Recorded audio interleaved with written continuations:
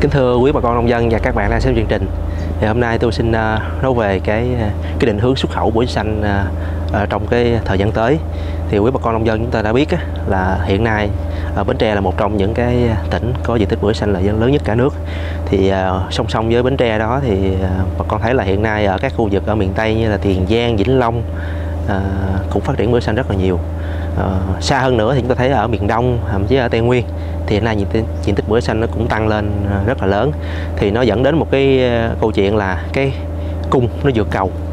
Và nó dẫn đến cái bưởi da xanh chúng ta hiện nay là giá nó cũng không còn uh, hấp dẫn giống như thời gian trước.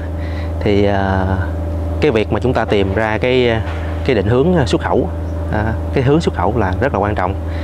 Ờ, một cái yếu tố khách quan nữa ở thời gian gần đây thì bà con thấy là cái ờ, giá vật tư nông nghiệp nó đang à, có xu hướng leo thang.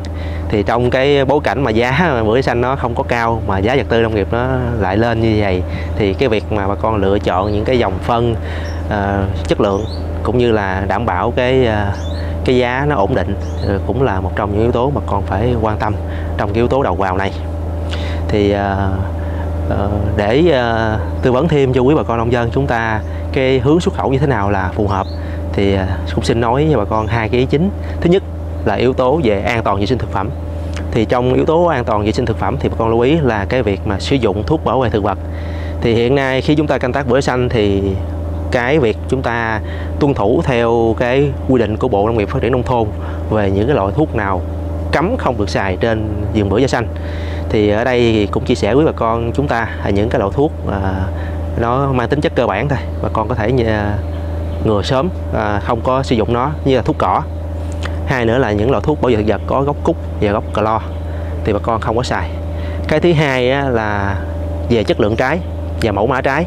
Thì đối với bưởi da xanh hiện nay theo cái tiêu chuẩn xuất khẩu thì à, nó từ 1 kg 2 cho tới khoảng 1 kg 6 thì đây là những cái sai trái, nó phù hợp cho việc xuất khẩu. Do đó thì hiện nay chúng ta nếu chúng ta định hướng xuất khẩu thì chúng ta phải cố gắng chúng ta làm sao mà để cái trái bưởi da xanh chúng ta lọt trong cái khung này. Và để trái bưởi xanh lọt trong cái khung này thì yếu tố về mặt dinh dưỡng, bón cho cây là rất là quan trọng. Thì bà con chúng ta tập trung vô cái giai đoạn từ tháng thứ ba cho tới khi thu hoạch. Thì từ tháng thứ ba đổ lên tới khi thu hoạch thì bà con chú ý, chúng ta nâng dần cái hàm lượng kali lên. Chúng ta giảm đạm và giảm lân lại, nâng dần kali lên thì đối với bưởi xanh thì chúng ta bón phân theo cái chu kỳ phát triển của trái. Thì mỗi tháng chúng ta bón bón một lần và chúng ta nâng dần dần dần cái hàm lượng kali lên tới khi thu hoạch. Thì khi bà con nâng dần hàm lượng kali lên thì cái kích cỡ trái chúng ta sẽ được ổn định và hai nữa, chất lượng của trái chúng ta sẽ được nâng lên song song với chuyện chúng ta nâng dần kali lên thì cái vị trí để trái trên cây cũng rất là quan trọng. Chúng ta không để trái ở ngoài đầu ngọn, vì khi mà chúng ta để trái ngoài đầu ngọn thì cái trái chúng ta sẽ xu hướng nó bị chởm đầu. Và hai nữa là trái chúng ta sẽ bị lọt khung.